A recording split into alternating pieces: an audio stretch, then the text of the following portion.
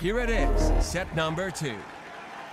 Hallo liebe Leute, es ist wieder Broadcast-Zeit und sprechen wir diesmal über Virtual Reality oder für mich jetzt einfach mal vereinfacht ausgedrückt VR. Ja, schön deutsch, VR.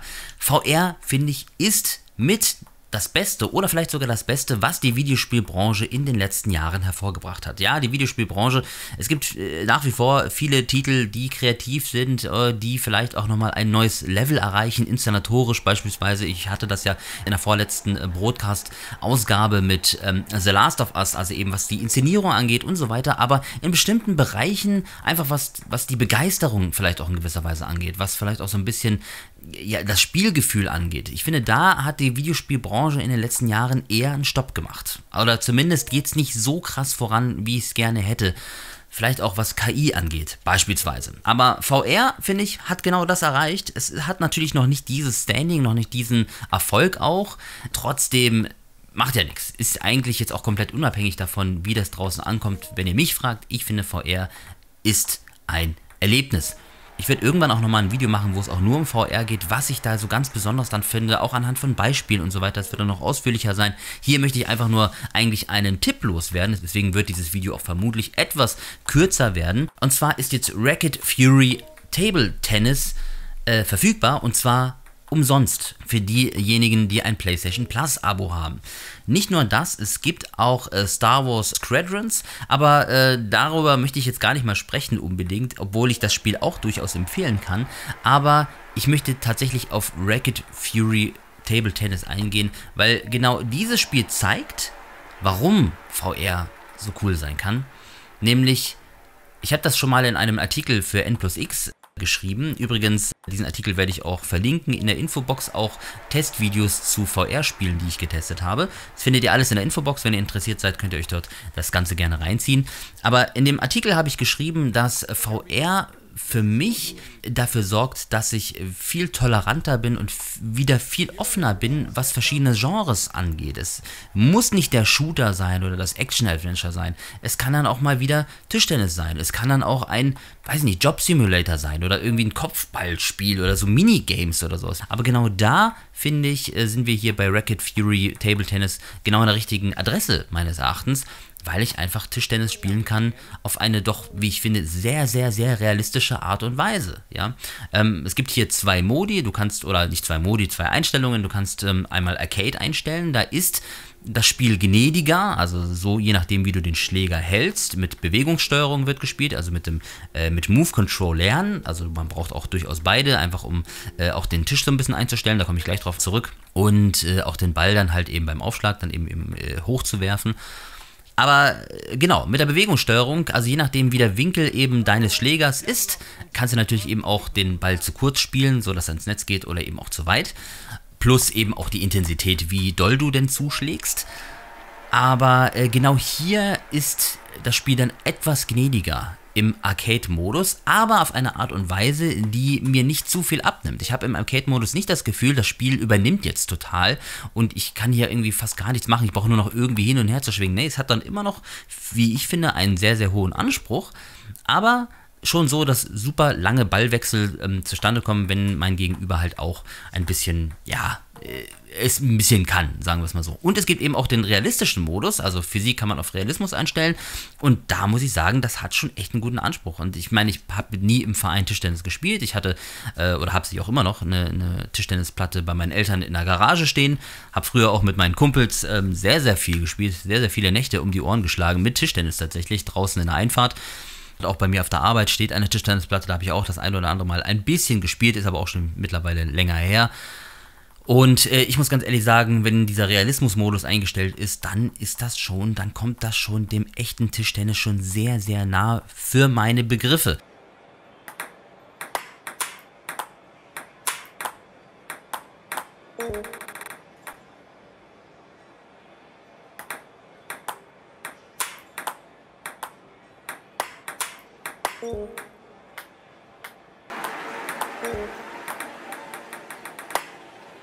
Wenn jemand von euch da draußen ähm, Tischtennisspieler, Trainer ist, und VR hat und vielleicht auch dieses Spiel gespielt hat, bitte, bitte gerne schreiben in die, äh, in die Kommentare. Ich meine, so gut, so viele Zuschauer habe ich ja nicht, aber es kann ja sein, dass vielleicht einer von euch dabei ist. Und dann schreibt mal gerne in die Kommentare, wie ihr das empfindet, weil ich habe das Gefühl, die Physik, die Ballphysik ist super. Also da habe ich schon das Gefühl, wenn ich es besser könnte, dass ich Topspin, Sidespin, Schmetterball und so weiter, äh, was weiß ich, wie sie alle heißen, dass sich das alles wirklich sehr, sehr gut übertragen lässt im Spiel und ich da durchaus nicht einfach nur einfach hin und her spiele, sondern wirklich äh, Nuancen habe, wie ich den Ball spielen kann. Auf eine ganz feine Art und Weise. Äh, das macht einfach Bock. Ich habe da jetzt die letzten Tage so viel Zeit mit verbracht, dass mir die Füße wirklich wehgetan haben vom Stehen. Ich habe jetzt auch, wie man hier auch in einem Video sehen kann, solltet ihr euch das Ganze nicht nur anhören, sondern auch anschauen. Äh, habe ich auch barfuß gespielt. Gut, vielleicht auch keine super Idee. Beim nächsten Mal werde ich vielleicht äh, tatsächlich saubere Schuhe anziehen, damit ich auch die Wohnung nicht irgendwie dreckig mache oder irgendwelche Flecken am Boden oder so. Aber gut, äh, anderes Thema. Ich kann äh, Racket Fury Table Tennis wirklich, wirklich äh, jedem ans Herz legen. Selbst wenn man vielleicht gar nicht mal so viel Spaß an Tischtennis normalerweise hat, macht es einfach mal. Ladet es euch runter. Ich meine, es ist umsonst. Es ist umsonst für diejenigen, die PlayStation, ein PlayStation Plus Abo haben.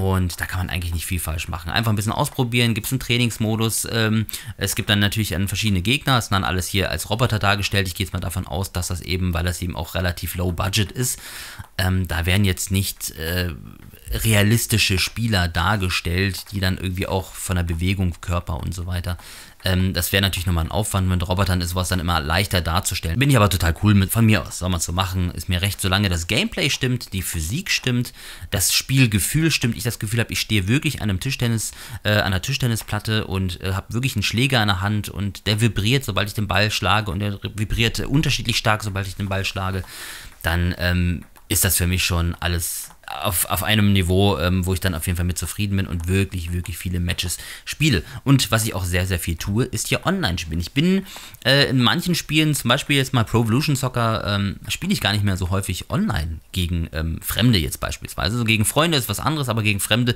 ist mir das manchmal auch ein bisschen zu stressig.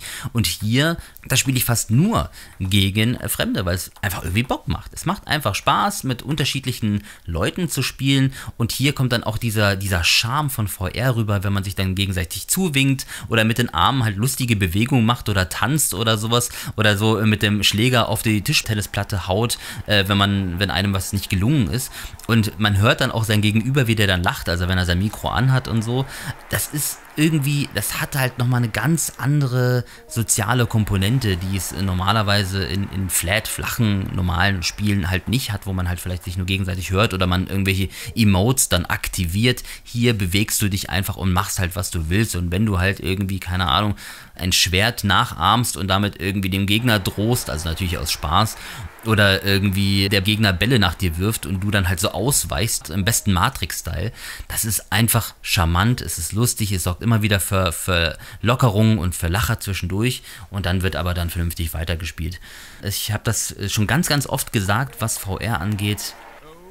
Man muss es einfach selbst mal ausprobiert haben. Man muss es einfach selbst mal spielen und ähm, dass ich jetzt so lange darüber rede, es gibt manch AAA-Bombast 300 Millionen Dollar Produktionen, jetzt mal übertrieben gesagt, äh, so übertrieben ist es eigentlich gar nicht mehr, aber äh, die, über die ich nicht so viel reden würde wie über das hier. Das, also VR-Spiele können manchmal wirklich ähm, eben faszinieren. Und zwar auf eine Art und Weise, wie ich, wie ich das als Kind auch vielleicht erlebt habe, wo Videospiele noch etwas Neues waren und wo auch die Sprünge von Videospielen halt auch größer waren. Und äh, das schafft VR nach wie vor. Und manchmal vergesse ich das auch. Ich habe jetzt in letzter Zeit weniger VR gespielt. Ich habe irgendwann auch wieder mit Everybody's Golf angefangen. Auch darüber habe ich einen Test gemacht.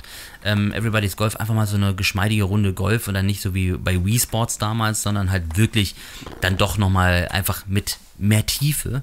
Und äh, abgesehen davon, dass man eben mittendrin ist und dieses, äh, die, der 3D-Effekt der, der Virtual Reality Brille all das hebt das Ganze auf ein ganz, ganz neues, ein ganz, ganz anderes Niveau. Also wer von euch da draußen vielleicht noch nie VR ausprobiert hat und äh, das jetzt vielleicht auch so mit so Wii Mode äh, oder äh, Wii Sports Resort oder sowas vergleicht, oh mein Gott, da sind, dazwischen sind Welten. Absolut. Und äh, ja, naja, ansonsten nochmal zu meinen Erfahrungen, ähm, weil ich habe ja vorhin auch Arcade oder Arcade und äh, Realismus angesprochen. Ich spiele online tatsächlich lieber Arcade oder ich habe es meistens so eingestellt, weil man auch nicht weiß, gegen wen man da spielt. Äh, manchmal merkt man auch allein von der Höhe her der, des Roboters, man kann ja die, die ähm, die Tischtennisplatte ja auch einstellen, also die Höhe. Und ähm, manchmal steht dann auch jemand Kleines dann da irgendwie. Also man hat das Gefühl, okay, die Person ist tatsächlich auch nicht so groß oder vorher hat jemand Großes gespielt, vielleicht der Vater, dann das Kind. Äh, und dann äh, ist der Roboter auch direkt tiefer angesetzt sozusagen und dann hat man direkt das Gefühl, alles klar, ähm, da ist jemand vielleicht jetzt nicht ganz so alt. Und äh, um nochmal darauf zurückzukommen, also man weiß nicht, mit wem man es da zu tun hat und dann ist Arcade eigentlich immer eben das Bessere, damit es halt dann auch äh, bei solchen Spielen macht es ja Spaß, wenn der Ball auch zurückkommt und nicht, man nicht nur irgendwie einen Ballwechsel von, von zwei hat oder sowas. Aber manchmal habe ich auch gegen einige gespielt, meine Fresse, da haben wir wirklich äh, gekeucht und äh, uns da die Bälle um die Ohren geknallt.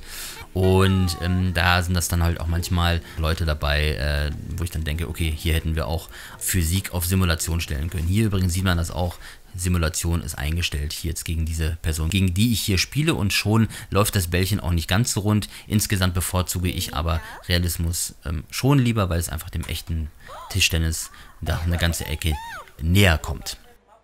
Was ich mache ist, äh, vielleicht interessiert euch das ja, weil man ja da wirklich doch auch ins Schwitzen kommt. Jetzt gerade sind ja doch die Temperaturen äh, nicht mehr ganz so frisch. Das heißt, äh, wir steuern ganz klar Richtung Sommer und dann wird es natürlich auch dann heißer, auch unter der Brille.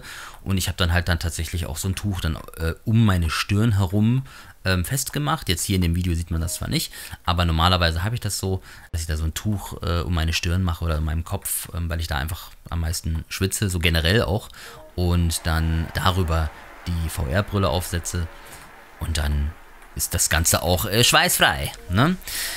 Ja, was gibt's noch zu sagen? Ich bin begeistert von diesem Spiel, dass ich da vorher nicht schon drauf gekommen bin. Fast traurig. Ah ja, eine Sache vielleicht auch noch. Ich habe relativ schnell immer Gegner gefunden. Hätte ich jetzt so auch nicht erwartet. Ich hatte ja auch äh, Creed, dieses Boxspiel, ähm, was ich auch sehr, sehr, sehr, sehr anstrengend fand und was mir auch gut gefallen hat.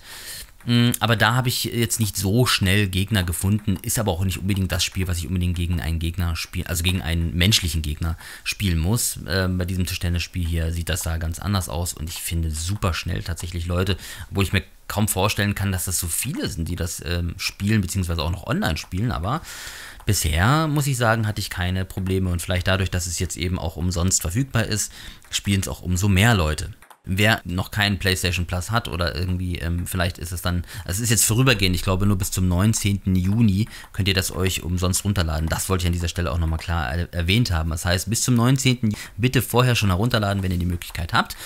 Und äh, falls das dann doch irgendwie zu spät ist oder ihr gerade kein PlayStation Plus Abonnent seid oder sowas, dann würde ich euch trotzdem empfehlen, euch das Ding einfach mal anzuschauen, auf jeden Fall. Genau, ich bin begeistert und das auch nochmal zum Abschluss möchte ich das ganz gerne erwähnen. Also ist ja jetzt nicht mehr so, dass die VR-Brille, gerade die PSVR und auch die Move-Controller, es ist jetzt nun wirklich nicht mehr State-of-the-Art-Technik, was VR angeht. Und trotzdem schafft es so ein doch recht kleines Game, mich so zu faszinieren, dass ich sage, viele andere Spiele können jetzt erstmal sich zurücklehnen und ähm, sich ausruhen. Ich bin jetzt erstmal hiermit beschäftigt.